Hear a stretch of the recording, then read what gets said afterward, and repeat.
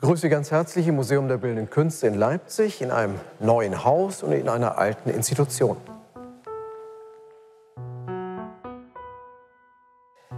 Das neue Gebäude konnte am 4. Dezember 2004 eröffnet werden. Eine Architektur nach den Plänen der Berliner Architekten Hufnagel, Pütz und Raffaelian. Diese zentrale Halle öffnet sich zu drei großdimensionierten Höfen und wenn man den Blick erhebt von der zentralen Halle in die großdimensionierten Terrassen, wird man des Außenraums, des Stadtraumes gewahr durch das leicht gedämpfte Glas. Und die Blickbahn erschließt dann auch den Himmel. Das heißt, auch die Freiheit des Himmelsraumes ist in dieser kubischen Architektur gewährleistet. Im Foyer des Museums finden Sie das Stiftermosaik des Münchner Künstlers Stefan Huber, eine Sammlung von Stiftern, vornehmlich des 19. Jahrhunderts, Leipziger Sammler, die ihre Sammlungen dem Museum vermacht haben. Und wir werden auch sehen, dass dort inzwischen Sammler des 20. und 21. Jahrhunderts Platz genommen haben. Wir springen oft aus der Chronologie einer kunsthistorischen Abfolge dann, wenn es inhaltliche Bezüge gibt, die tragfähig sind, auch über zeitliche Distanzen hinaus Brücken zu schlagen.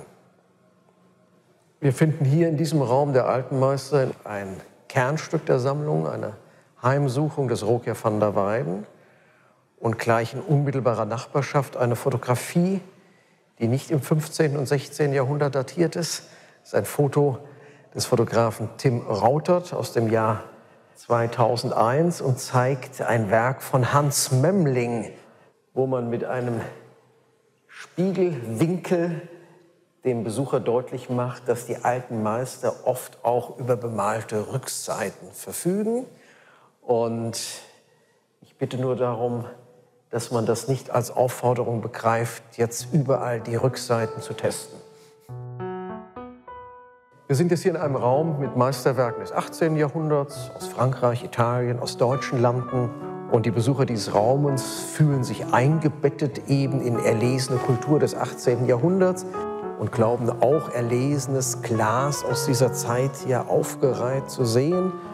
Doch wenn sich die Augen dann konzentrieren, zum Beispiel auf diese Weingläser, wird man dann irgendwann mal irritiert sein und identifiziert das Glas als billigste Plastikware und die Ständer sind dann doch ganz profane Schraubenzieher. Kurzum, es handelt sich um eine Arbeit von Gerd Rohling, dem Berliner Künstler, der hier Plastikmüll am Strand von Neapel gesammelt hat, neu formiert hat und in einer Weise, dass man auf den ersten Blick meint, eine erlesene, kunsthandwerklich hochstehende Glaskultur in dieser Vitrine zu finden.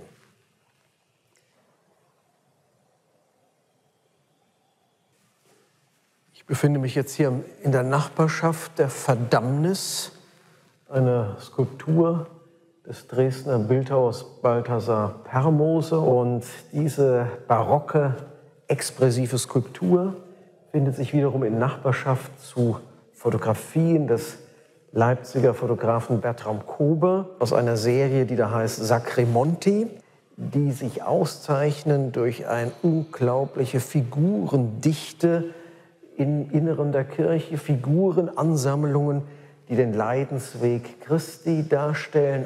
Und Bertram Kober hat diese Szenerien ähnlich aufgefasst wie sein barocker Kollege, auch als Orte der Verdammnis.